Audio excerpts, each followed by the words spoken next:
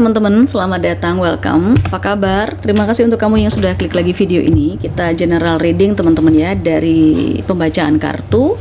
Ini pembacaannya secara umum tidak akan spesifik, jadi mungkin tidak cocok sama sekali. Bahkan beberapa juga part ada yang relate sama kamu. Tapi kamu juga bisa menyesuaikan situasi kalian masing-masing ya bisa vice versa tertukar dengan energi orang yang berdealing sama kamu. Misalnya kalau sekarang ini kita fokus ke zodiak Capricorn ya. Meskipun ini bukan hanya sun aja Capricorn adalah bisa di sun bisa di moon bisa di rising atau ascendant. Siapa tahu kamu berdealing dengan seorang Capricorn. Hmm ini perlu dicatat nih ya karena mungkin ini energi para cross watcher terbalik dan tertukar. Kehidupan Capricorn di bulan November, kita lihat seperti apa. Energinya bisa maju mundur teman-teman, ada yang sudah mengalami ini, ada yang belum mengalami ini atau memang sedang mengalami ini saat ini ya. Di bulan November Capricorn, pada saat kamu nonton video ini, saya nggak tahu kapan, karena videonya kan berputar terus ya di sosial media Mungkin kamu nontonnya sebelum November, ada yang pas di bulan November, atau bahkan sesudah November. Kamu coba tulis di kolom komentar video ini kamu tonton, kamu terima pada hari apa, jam berapa, tanggal berapa, dan aktivitas apa yang sedang kamu lakukan. Tulis di kolom komentar. Sekalian kamu berikan dukungan channel ini biar terus berkembang teman-teman, biar kita semangat untuk memberikan readingan-readingan. Caranya adalah kasih jempol ke atas selalu, subscribe buat yang belum, klik juga lonceng notifikasinya karena banyak yang belum mengaktifkan loncengnya ya teman-teman. Di keranjang kuning aku sudah sematkan parfum Aura M Infinity, silahkan kamu check out. Ini adalah parfum Aura yang aku blessing sendiri dan memang ini parfum yang aku gunakan sehari-hari teman-teman ya. Jadi silahkan kalau kamu pengen memiliki juga parfum Aura M Infinity. Manfaatnya apa? Manfaatnya kalau aku secara pribadi bisa menambah rasa percaya diri, bisa jadi mood booster, menyelaraskan energi positif, memancarkan aura atau booster aura. Buat yang lagi proses healing juga bisa menggunakan parfum ini. Caranya kalau check out di keranjang kuning, kamu tulis nama dan tanggal lahir kamu ya, biar proses blessingnya bisa lancar langsung menuju ke kamu.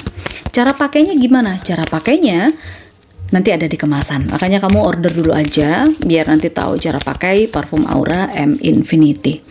Oke, okay, personal reading konsultasi juga bisa chat ke WhatsApp admin ada katalog yang bisa kamu pilih. Capricorn, energi di bulan November. Pesan apa untuk Capricorn? Wow, ada yes. Jawabannya iya nih, Capricorn. Kita keluarkan satu kartu lagi ya. Apa yang Dijawab iya oleh universe. Capricorn. Hmm, sesuatu yang baru datang. Sesuatu yang lebih baik Capricorn. Energi yang cukup bagus karena yang selama ini mungkin kamu doakan, yang selama ini kamu inginkan mendapat jawaban yang positif. Karena universe juga mengaminkan apa yang kamu mau, apa yang kamu doakan, bahwa sesuatu yang akan datang ini memang lebih baik daripada yang kamu dapatkan sebelumnya. Oke. Ada forgiving and learning. Untuk area relationship, pesannya forgiving and learning. 6 kartu dari tarot ya kita lihat Capricorn November seperti apa energi Capricorn di bulan November. Oke, okay, Capricorn November. Capricorn di bulan November. King of Wands. The World.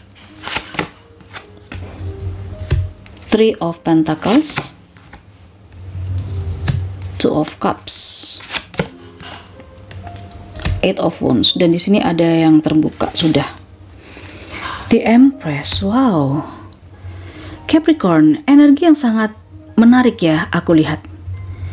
Di bagian bawah kartu di sini Capricorn, kamu punya The Chariot, sebuah perubahan, progress, move on, movement Sangat interesting ya energi kamu di November. Aku rasakan beberapa di antara Capricorn akan mengalami sebuah perubahan yang sangat signifikan, perubahan besar.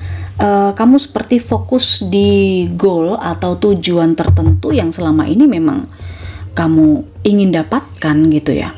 Goalnya itu apa kak? Ya mungkin ada beberapa di antara kamu yang pengen uh, punya posisi peningkatan karir, kamu membangun uh, usaha bisnis sendiri, ada perubahan di kerjaan kamu, di bisnis yang sedang kamu kerjakan sekarang. Aku lihat kamu akan mendapatkan sesuatu yang lebih baik di sini memang. Hmm, setelah berulang kali mungkin kamu merasa belum berhasil, kamu merasa stuck di sini, kamu gak putus asa. Aku lihat Capricorn ya, karena Energi the word, setiap kali sesuatu berakhir, kamu selalu bangkit lagi, memulai lagi, memulai lagi, membangun lagi sesuatu yang baru. Kamu di sini memang punya tujuan atau udah kekeh banget dengan apa yang kamu mau. Kamu nggak akan gampang untuk menyerah begitu aja nih yang aku lihat ya.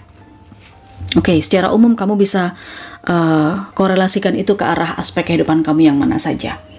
Oke, okay, ambil bagaimana ini bisa relate buat kamu.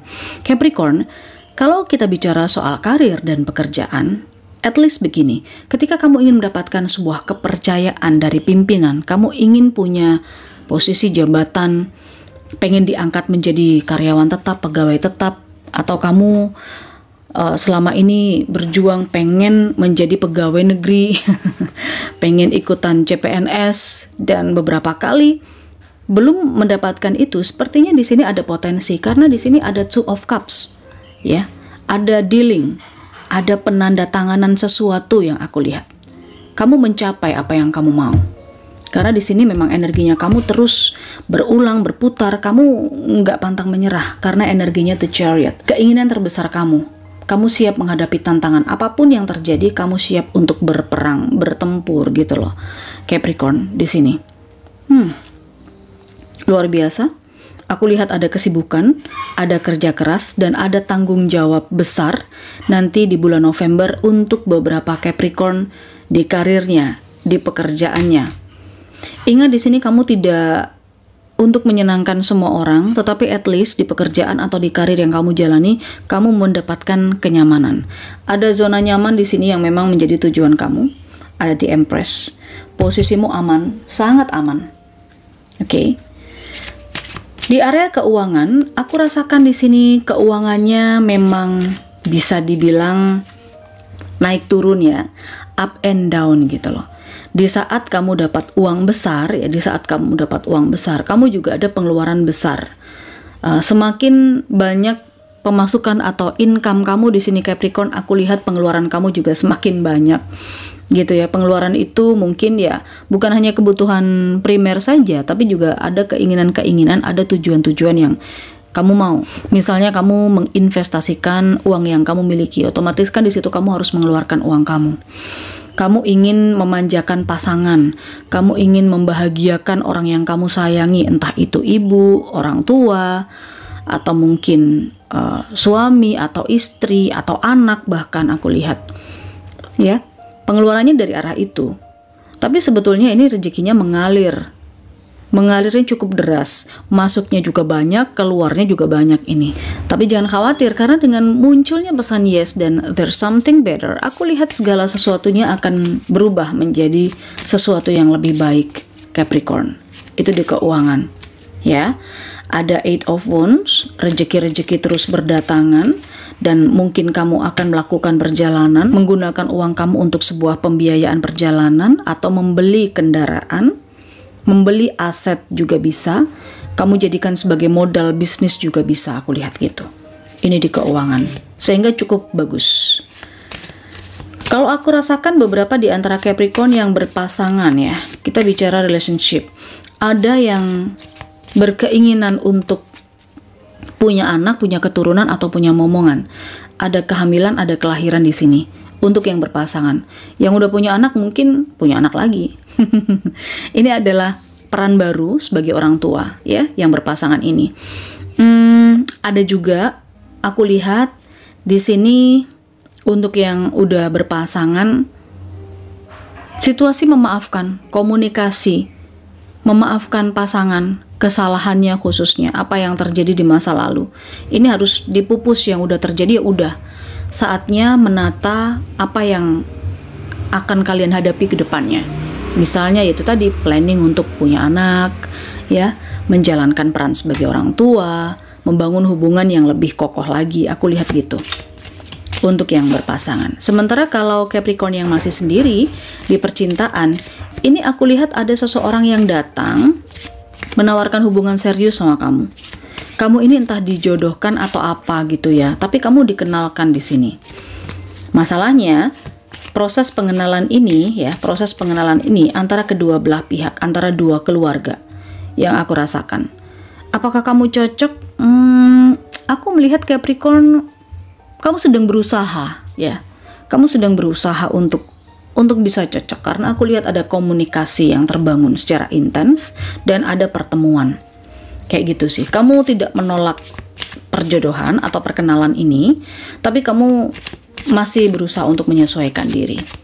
Oke? Okay? so far aku lihat proses pendekatan ini membuat kamu cukup aman dan nyaman tapi belum ada arah jawaban iya untuk yang single. Oke. Okay?